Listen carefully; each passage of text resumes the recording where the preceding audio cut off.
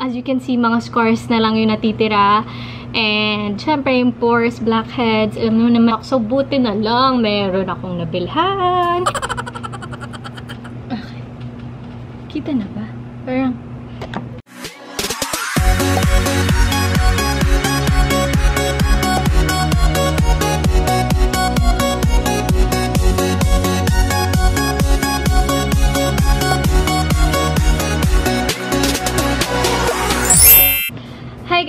Welcome back to my channel. So, it's been so long. It's been almost a month na hindi ako nakapag-upload. Actually, itong year na to, sobrang medyo naging tamad din akong mag-vlog with the pandemic, with everything that's been going on.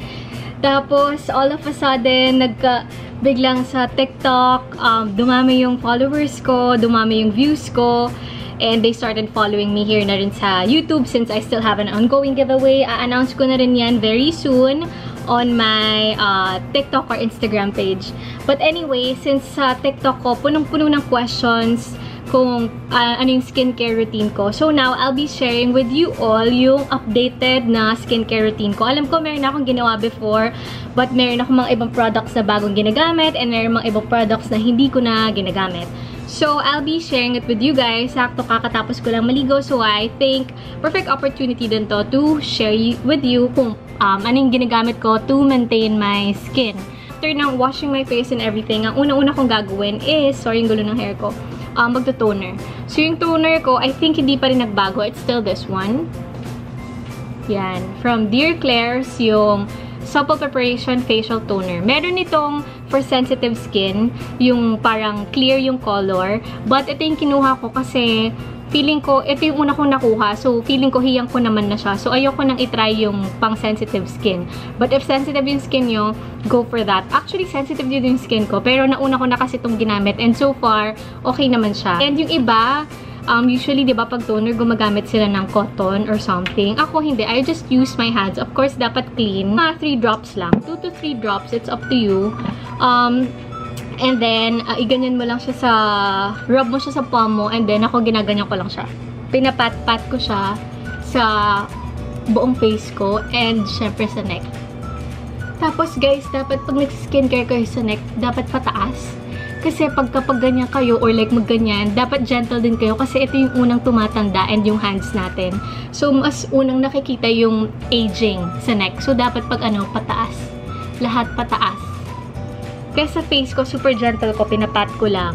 Dati ganyan ako eh. Pero parang nung nakita ko sa mga reviews or something, it shouldn't be like that. Tapos, wait for it to dry up lang. Mabilis siya mag-dry up, siguro mga 30 seconds lang. Tapos, after ng toner, your, what you'll use next is yung eye cream. Nasaan yung eye cream ko? Shots. Wait lang. Hanap!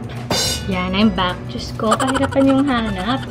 Anyway, yan, ano yun yung hair ko, guys, ah. Mamaya na ako nagsuklay. Anyway, pag nag-dry up na yan, yung next naman would be the eye cream. Ito yung binili ko sa Japan. Um, hindi ko alam anong brand nito, pero nakita ko lang siya sa mga drugstore doon. Sayang, dalawa pa oh. After nito, bibili siguro ako ng something lang na maganda from, I don't know, update ko kayo pag may updated akong skincare. Tapos, ayan. Um, yan, ganyan yung amount. Tapos, I use my ring finger kasi dapat ring finger mo yung gagamitin mo sa eyes mo dahil um, one of the most delicate um, places yung sa eyes. Tapos, um, i-ano mo lang. Actually, bawal nga yung slide eh. Parang kaso, minsan, impatient ako. Um, lightly lang. Huwag mo siyang ida-drag. So, dapat light ka lang talagang maglagay kasi wrinkles sis. Kailangan careful. Yan. Sorry, hindi ako napapatingin sa camera kasi sa salamin ako tumitingin kung na-spread na ba evenly.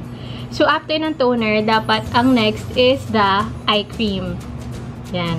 So, hintayin lang natin siya for ilang seconds. And then, next one naman is this one. Actually, bagong bili ko lang to. Kasi naubusan na ng COVID. Ay, hindi nakakapag-deliver. Iba out of stock. So, buti na lang. Meron akong nabilhan. Super ito, OG. Kailangan. Ever since yata, tagal ko na ginagamit nito. Ayan. Dear Claire's Vitamin C. So, um, freshly juiced vitamin C drop. So, after na toner, after ng eye cream, ito naman yung next ko. I don't know, siguro may order, pero sa akin, ganito kong order ginagawa. So, mag-drop ka lang at least Um, ako, ginagawa ko 3 din. Same with the toner. 3 drops lang. Guys, uh, mabibili nyo to online. Beauty MNL, um, Watsons, yata yung iba. Pero itong Dear Claire's, alam ko sa online mabibili. Marami sa online to. Pero careful kayo sa mga fake guys ha. Kasi baka um, mukha nyo yung pinag-uusapan dyan. So, delikado. So, dapat dun sa mga ano talaga, sa mga, ano ba tawag dun? Yung mga legit talaga na stores. Post ko na lang in sa description box below kung saan ko sila binili. Okay? Hindi ako kasi bumibili sa Shopee pagdating sa face. Kasi sa Shopee okay lang kung hindi connected sa mukha or whatever. Pero kasi pag sa face, parang parang delikado kasi hindi mo alam kung ano yung totoo doon at ano yung fake. So, dapat sa trusted website kayo bumili. I mean, Shopee is trusted website but alam nyo naman, marami mga dupes, marami mga fake.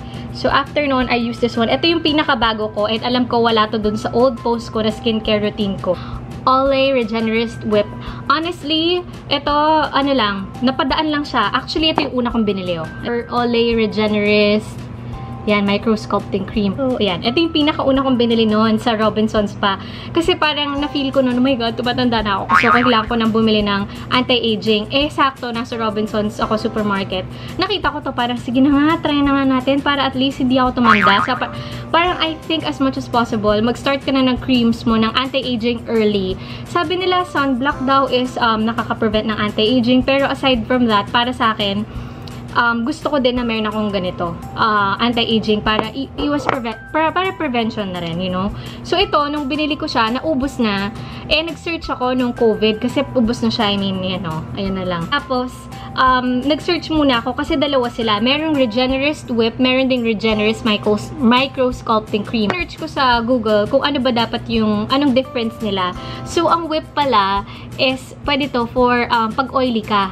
So, okay itong gamitin kasi parang it will um, count na as your moisturizer din eh. So, ito. Um, so, ito binili ko yung whip. Sabi ko, sige na nga, try ko. If nagka-pimple ako the next day, edi balik ako dito.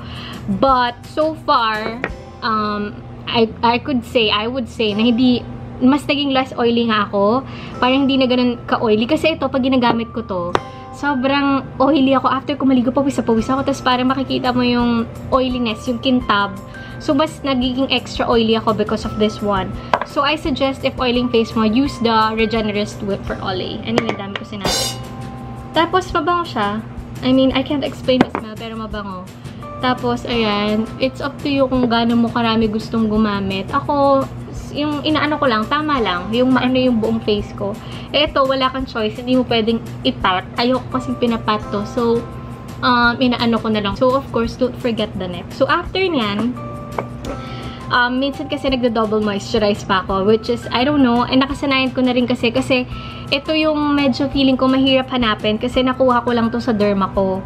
So, ang brand nito is Rose Gay Skin White. Ito yung, ito yung masasabi ko na nakapagtanggal ng scars ko. Kasi over time, it's been how many years, hanggang ngayon, ginagamit ko pa rin siya. So, feeling ko yun yung nag-help na mag-lighten ng scars ko. Kasi ang sabi naman, um, it helps daw to lighten your tone or scars or whatever. You know, tingnan mo, paubos na nga. Nilalagay pa ako. Tapos, konti na lang. Um, after nun, what's next na ba? Actually, yun na yun. That's it. It's the end. Not unless lalabas ako. Pag lalabas ako, ito yung gamit ko. And Biore UV something something. Binili ko to sa Japan. Sobrang ganda niya kasi nalagay ng white cast. Ba yung ibang sunblock, pag nilagay mo, sobrang halata yung puti. Ito, wala siya talaga. Tapos, watery siya, which I like. So, pag lumalabas ako, hindi ako pwedeng hindi, hindi ako pwedeng walang sunblock kasi sunblock is life and sunblock talaga for me, um, important yan. So, dapat hindi nyo kinakalimutan na mag-sunblock parate. Anyway, I would like to thank you all for, um, ano pala, kasi dumami subscribers ko dito sa YouTube. Grabe talaga, from 1,000 subscribers. Alam nyo ba, inipot ko yung 1,000 subscribers na yun for like a year. One year bago ako ma-reach yung 1,000 subscribers. Tapos, overnight lang, or like, 2 days, 3 days lang sa TikTok, biglang, nung nag-ano ako sa TikTok, biglang, 6,000 na yung follow subscribers ko ngayon dito sa YouTube. I'm so happy. Kasi parang, kasi to be honest, like, nawala na rin ako ng motivation to vlog. Kasi nga, ang hassle-hassle mag-edit. Tapos, um, I don't know if people are enjoying my vlog ba, but whatever, ganyan. Tapos parang ito, biglang, biglaan sa TikTok, sakto, hindi pa ako nakakapag-giveaway. So, parang ako nagulat ako na parang, oh my God, ang bilis. So, yun lang. I mean, share ko lang. And, yeah, tapos ang dami nyo din mga request, yung mga tao sa TikTok. Ang dami nyo nire-request sa akin na mga pinapagawa in which tinatry kong um, pagbigyan kayo lahat. Pero syempre, meron mga iba na hindi ko pwedeng ma-share or whatever. I hope you understand that. Pero as much as possible, nagtatry akong mag-share sa inyo hanggat kaya ko. And nagtatry pa ako mag-comment as much as possible. Kaso, na-overwhelm ako kasi meron time na sobrang every minute yata non-stop yung mga comments, non-stop yung mga following, yung mga likes. So, parang na-flood na, hindi ko na, na sasagot yung mga iba. But, siguro, mag-delay load din yung TikTok yung mga comments. But, makakapag-reply na siguro ako isa-isa. But, I try my best to reply. So, I hope you won't get offended or something. Or Anyway, I hope that, um, I think um, this is the end of this video. And I hope that you guys enjoyed my skincare routine. And, Oo, oh, oh, my God. Oh, nga pala, I forgot. I only use these products once a day, okay? Paggabi, oh my God, nakalimutan ako. Paggabi, ang ginagamit ko na lang is this one. Wala na akong ibang kaartehan paggabi. As in, wash ko face ko, and then I use this one from Garnier. Ayan. So, ito lang, sa gabi. As in, wala nang anything. Yung mga pinakita ko sa inyo kanina, pang morning lang yon So, but anyway, I hope that you guys enjoyed this video. And don't forget to like, subscribe, and click the bell to get notifications if I post another video. Thank you guys for watching, and see you in my next video. Bye! Oh my God! Oh nga pala, kung pwede rin kayo mag-post below ng mga ideas sa vlogs, kung ano pwede kong um, i-vlog or like, um, help nyo ako isip ng content guys aside sa house tour. So, thank you! Bye!